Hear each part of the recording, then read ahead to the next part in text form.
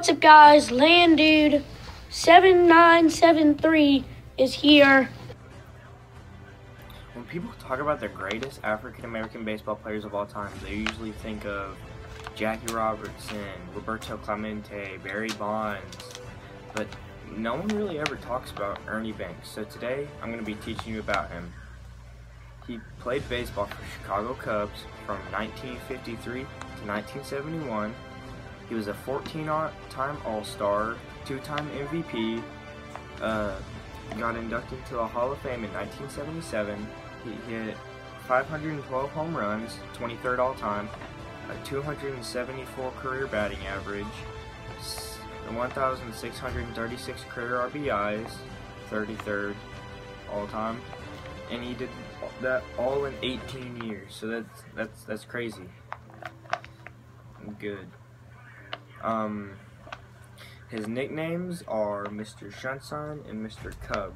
His name is Mr. Cub because he's said to be the greatest Cubs player of all time. And his name is Mr. Sunshine because one of his quotes is, It's a beautiful day for a ball game. Let's play two. And that's where he got the nickname from. And another quote from him is, The only way to prove you're a good sport is to lose. Which is kind of true. Now let's get into his personal stuff.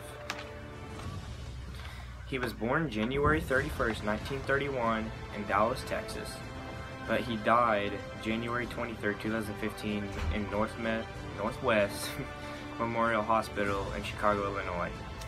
Um, he was 6'1", he died at the age 83. His net worth when he died was $16,000 because he had a ton of medical bills to pay and just went almost bankrupt. So, because because I mean, he he got really sick and he died of I think it was a heart attack. I can't remember. But what makes him a hero is he helped people think they can do things and get through things. He showed anyone that can play the game of baseball. It doesn't matter, the size of you. And if you set your mind to something, you can achieve that goal. And he showed you don't have to win a World Series to get your name around the M MLB and the world. Banks had a big influence on people. He not only taught people how to play the game of baseball, but he taught people that it doesn't matter how big or small you are, you can do all things. And um, he had 2,583 hits all time in 18 years. And that's a lot of hits for an 18-year career. And um, yeah, that's it. I hope y'all like this video.